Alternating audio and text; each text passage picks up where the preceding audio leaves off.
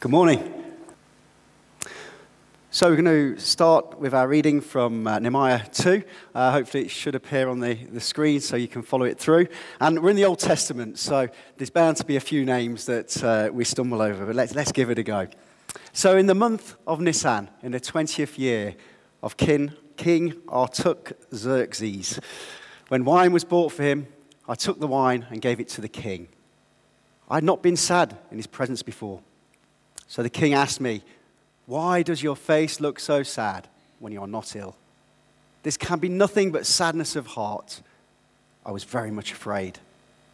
But I said to the king, May the king live forever. Why should my face not look sad when the city where my ancestors are buried lies in ruins and its gates have been destroyed by fire? The king said to me, What is it you want? Then I prayed to the God of heaven, and I answered the king. If it pleases the king, and if your servant has found favor in his sight, let him send me to the city in Judea where my ancestors are buried, so that I can rebuild it. Then the king, with the queen sitting beside him, asked me, How long will your journey take? And when will you get back? It pleased the king to send me, so I set a time I also said to him, If it pleases the king, may I have letters to the governors of Trans Euphrates so that they will provide me safe conduct until I arrive in Judea. And may I have a letter to Asaph, keeper of the royal park, so he will give me timber to make beams for the gates of the citadel, by the temple, and for the city wall, and for the residence I will occupy. And because the gracious hand of my God was on me, the king granted my requests. So I went to the governors of Trans Euphrates and gave them the king's letters. The king had also sent army officers and cavalry with me. When Sanballat, the Horonite, and Tobiah, the Ammonite official, heard about this, they were very much disturbed that someone had come to promote the welfare of the Israelites. I went to Jerusalem, and after staying there three days, I set out during the night with a few others. I had not told anyone what my God had put in my heart to do for him in Jerusalem. There were no mounts with me except the one I was riding on. By night, I went out through the valley gate towards the jackal well and the dung gate, examining the walls of Jerusalem, which had been broken down, and its gates, which had been destroyed by fire. Then I moved on towards the fountain gate and the king's pool but there was not enough room for my mount to get through. So I went up to the valley by night, examining the wall. Finally, I turned back and re entered through the valley gate. The officials did not know where I'd gone or what I was doing, because as of yet, I'd said nothing to the Jews or the priests or nobles or officials or any others who would be doing the work. Then I said to them, You see the trouble we are in? Jerusalem lies in ruins, and its gates have been burned with fire. Come, let us rebuild the wall of Jerusalem, and we will no longer be in disgrace. I also told them about the gracious hand of my God on me and what the king had said to me. They replied, Let us start rebuilding. So they began this good work. But when Sanballat, the Horonite, Tobiah, the Ammonite official, and Geshem the Arab heard about it, they mocked and ridiculed us. What is this you're doing? They asked. Are you rebelling against the king? I answered them by saying, The God of heaven will give us success. We, his servants, will start rebuilding. But as for you, you have no share in Jerusalem or any claim or historic right to it. The word of God. Amen. So, yeah, last week Claire set the scene for us and the context of this book of Nehemiah. And we learned in chapter 1 how Nehemiah, one of the king's most trusted and closest servants, was really deeply troubled by the state that he found Jerusalem in. And this prompted him to turn to God in prayer. And he called out to God again and again in fervent prayer. And in his lament, he felt compelled by God that he should return to Jerusalem to repair and rebuild the city walls. Walls that had remained broken and destroyed for many, many years, despite attempts previously to repair them. And as we read on through this book, we'll discover that prayer alone is not enough to bring about change. It's not enough to build the kingdom of God. Prayer is just the starting point for action. But we don't go alone, we go with God by our side. And so, this chapter that we read is split into two segments with a broad outline of three significant events. First, we have the approach by Nehemiah to the king, who sends him into Jerusalem, verses 1 to 8. And then in the second part, in verses 9 to 16, we see him inspecting the broken city walls. And then finally, in the closing verses, we see Nehemiah proposing to rebuild the wall. And so, in the short time we've got available this morning, we're going to briefly look at those events. But we can't cover it all. So, I do encourage you this week go and read the whole chapter, get some study materials, and have a look and dig a bit deeper because there's some fantastic stuff in there. So, we open being told that it's the month of Nisan. Now, I'd not a clue what Nisan means. I don't know. Anybody want to offer? Yeah, so better known today would be kind of March and April, between March and April. And it's a significant date, really significant date in the calendar. So previously, if we back to chapter one, we were told it was a Kislev around about November, December. So this is some three, four months later. But this date is significant, and probably the reasons it's mentioned is because it's around the start of the Jewish New Year, as we read in Exodus 12. The Lord said to Moses and Aaron in Egypt, This month is to be for you the first month, the first month of the year. And so it's likely that this would have been a time of celebration. Most likely, why we see that there's wine being served and there's wine free flowing. And so I think it's fairly safe to assume that it would have been a jovial time. And when we have a jovial time at New Year, don't we? I, I think the Jewish were no different. I think they had a jovial time at the start of the year. But Nehemiah, he was sad. And so it's no wonder that the king picked up on this. At a time when everybody should have been happy, Nehemiah was clearly sad in his presence. And his sadness stemmed from the deep pain that he felt for Jerusalem. And this had been troubling him for now several months. So it's no wonder that the king picked up on his mood. Nehemiah clearly didn't feel in the mood to celebrate. And in his writing, we discover that not only is Nehemiah honest with himself, honest with God, but he's also honest with us, the reader, in how he's feeling. In that immediate moment, I was very much afraid.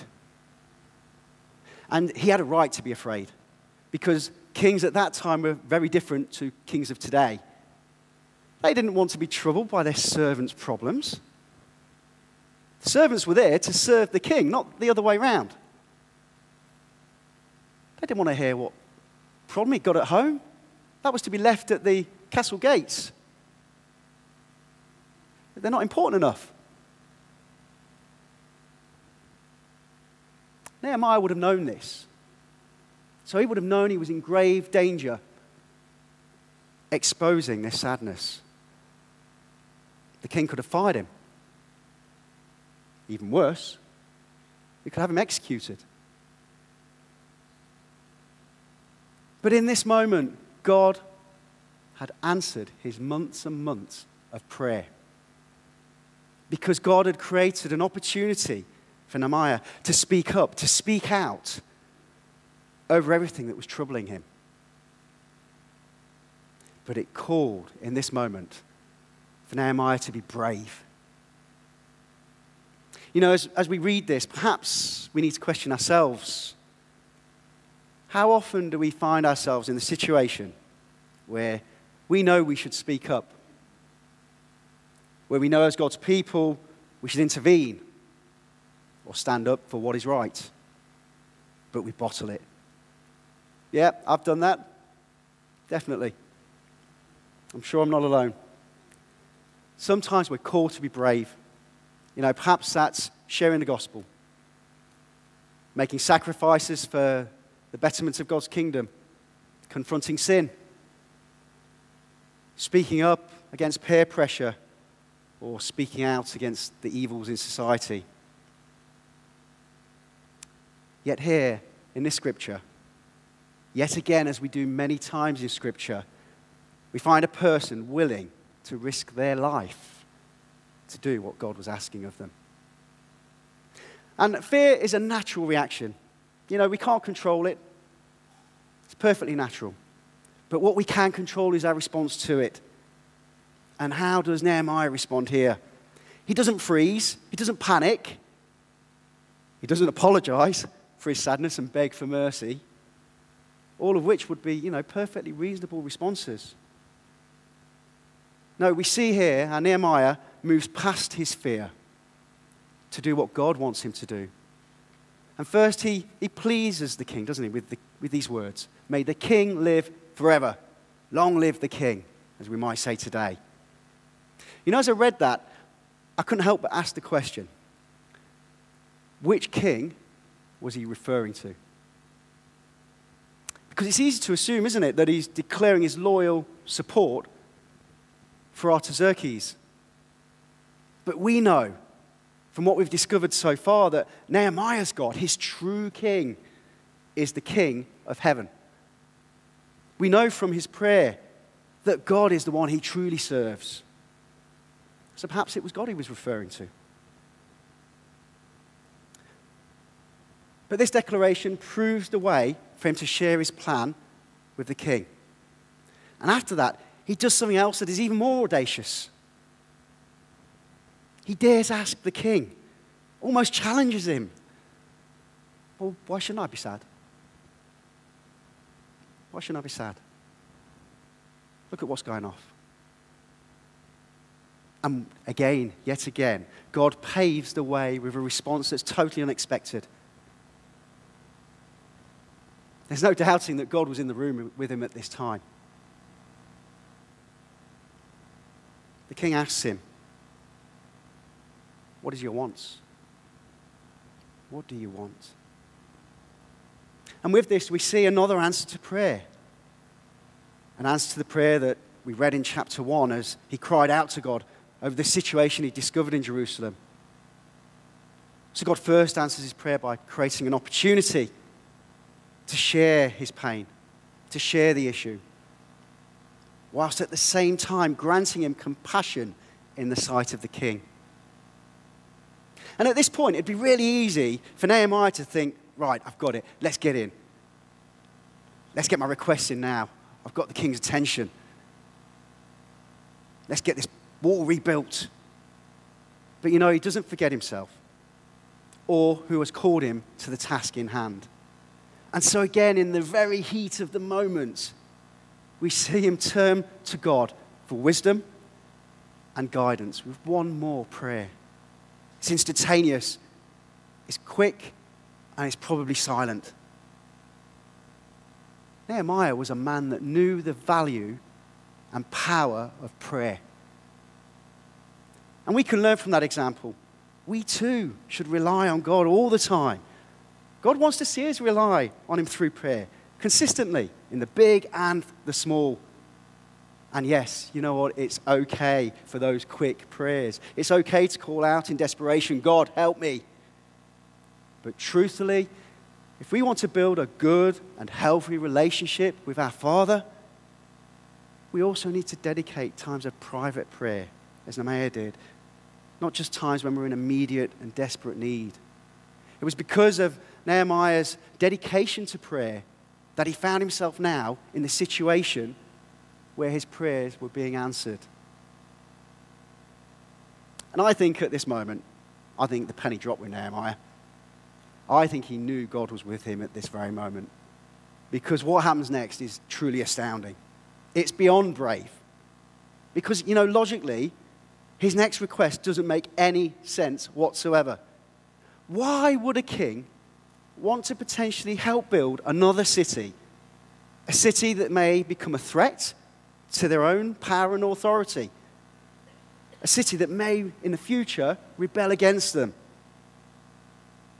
And let's not forget, this was the same king who had ordered the wall not be rebuilt, as we found in the book of Ezra. I issued an order and a search was made, and it was found that this city has a long history of revolt against kings and has been a place of rebellion and sedition.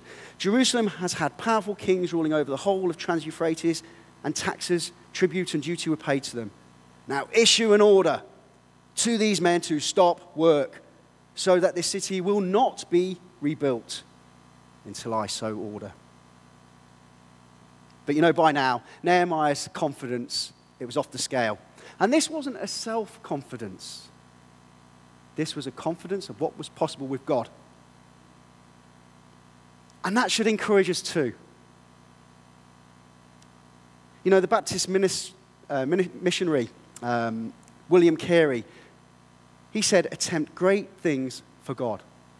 Ask great things of God. Is that something we do as individuals on a regular basis? Is that something as a church we're willing to do? So by now, Nehemiah is really going for it. He's come this far and he's succeeded. He's, he's had everything he's, he's asked for. But you know, he's just going to give one final push. He's just going to push a little further to see him get a little more. And so he asks for letters of protection so they can be handed to the local rulers of the lands he will pass through. And he succeeds. His request is granted. But still, he doesn't stop. Not only does he want the king's blessing and protection, but he wants the king to pay for it. I mean, this guy's got some front. And he asks for a letter that he can give to Asaph to obtain materials to rebuild the wall. And lo and behold, what happens? He gets it. You know, we see something of Nehemiah here in these last three or four months. They, they haven't just been spent dwelling and worrying about the problem. He's clearly spent the last few months planning the whole thing. You know, he's worked out how long it's going to take to get there.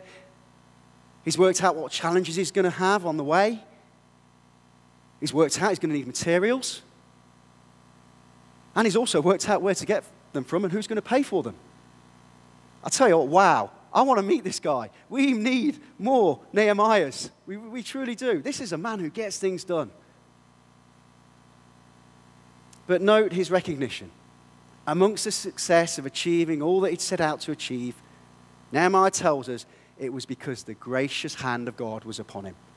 No proudful boast, no self indulgence, indulgence, that simple recognition that this was the work of God. And it was with this that he had the confidence to set out on his mission. And it's so often the case when God is on the move, there are forces that push back against that good work. And we see it here in Scripture. I'm sure some of you will have experienced that in your ministry work. It could be negativity from others. Ah, don't bother doing that, you won't get anywhere. Could be resistance it could just be things getting in the way and taking your time, preventing you from getting on and doing the things that you know God wants you to do. It's nothing new. Evil forces will always seek to prevent what is good. And we see it here. It isn't long until Nehemiah meets his first opposition in the form of Sanballat and Tobiah, perhaps threatened by both the sight of the king's men he's come with and the threat posed to the Samaritans by the Israelites strengthening their city. And as we'll discover in the coming weeks, it won't be the last we hear of these two.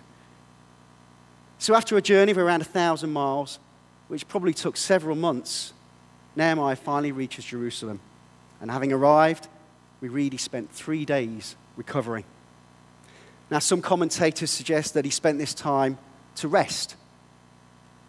And that would make sense. He's got a big job ahead of him, he's just had a weary journey.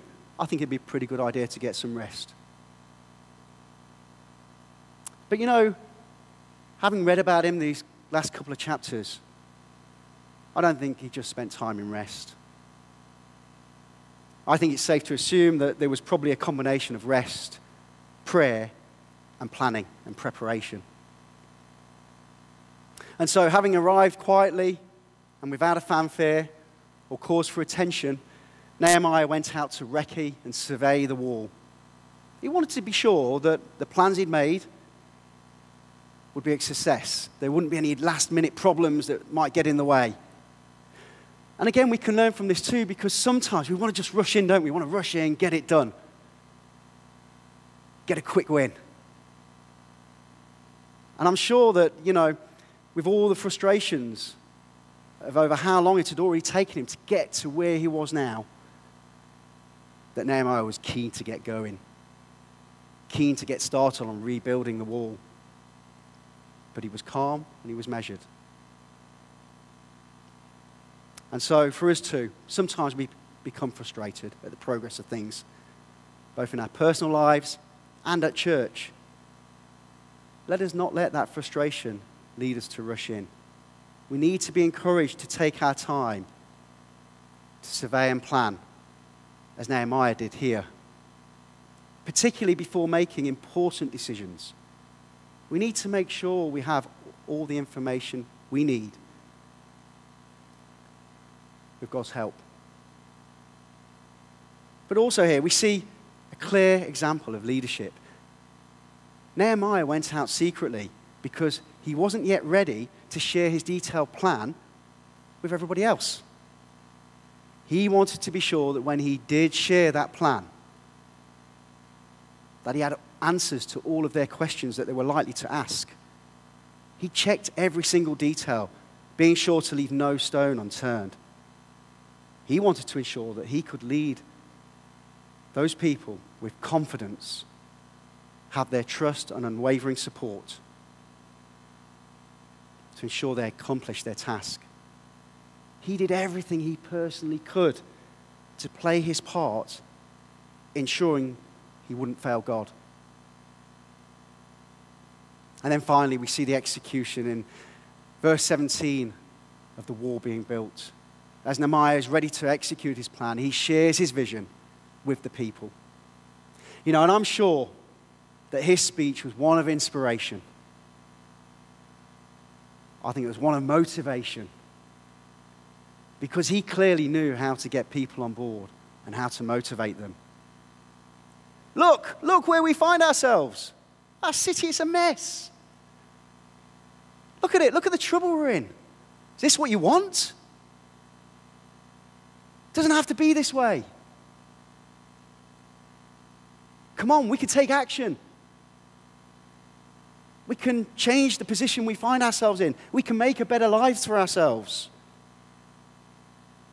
Instead of being disgraced, we can be respected. Hey, and you know what? This isn't something you're going to do alone. We're going to do it together. We're going to do it together with God.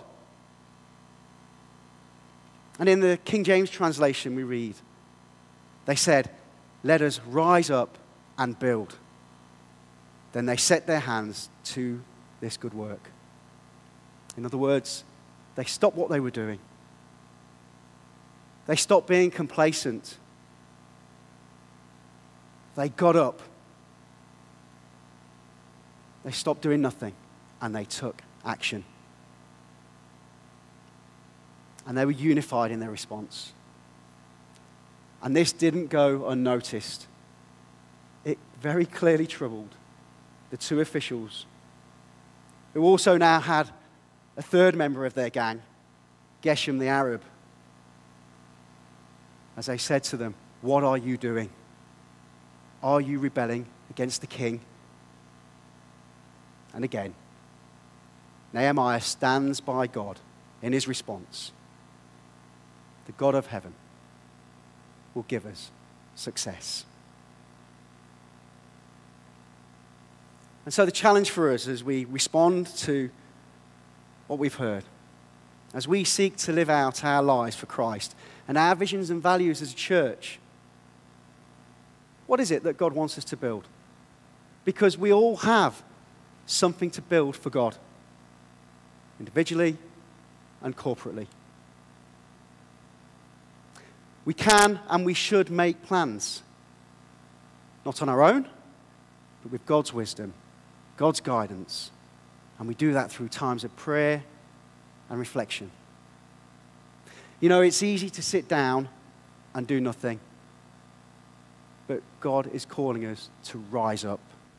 He's calling us to action. And so we must prepare ahead for the plans and tasks that God has in store for us.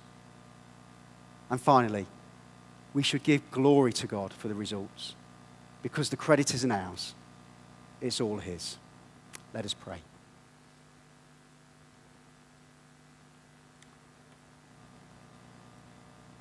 Lord, we, uh, we thank you for the example that you give to us through Nehemiah. Lord, we thank you for the challenges that it poses in our own lives. Lord, would you reveal to us in times of prayer and meditation the plans that you have for us? Lord, give us the confidence, give us the encouragement to set about those plans. Lord, when we just think of that horse unable to get through the wall because it's just a pile of rubbish. You know, sometimes we may look at ourselves like that. Sometimes maybe we see ourselves as broken, pile of rubble, thinking, what can we do? But Lord, just as you provided that new timber to rebuild that wall, you provide us with everything we need to rebuild our lives.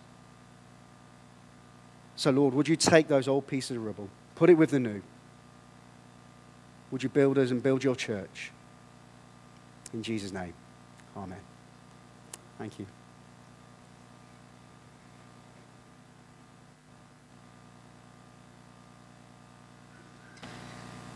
It isn't a mistake that we picked Nehemiah for this time and season for us as a church. And over the next few weeks, we're going to really be reflecting on some of the passages from Nehemiah as we think about what is God asking us to do. There's lots of different things we could do as a church, but what is he asking us to do? How do we weigh it up? How do we make sure we've got the resources and what we need? And how do we each play our part in that? So please do be praying for us. And if you remember, please do come to the members' meeting when we talk about that a bit more as well. Um, but in all these things, like Chris has highlighted, um, Nehemiah didn't just have his own plan and go off on his own way. He was following God. He was following God lead, God's leading. And so we're going to finish with a song now, um, which really reminds us that God is our shepherd and that is, He is the one that we want to follow and His voice alone. So if you're able, um, please do stand and sing with us.